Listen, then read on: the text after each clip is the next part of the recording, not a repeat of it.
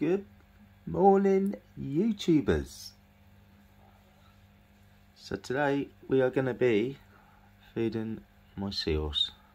Sadly, I only have one, as the male passed away shortly after I'd bought him.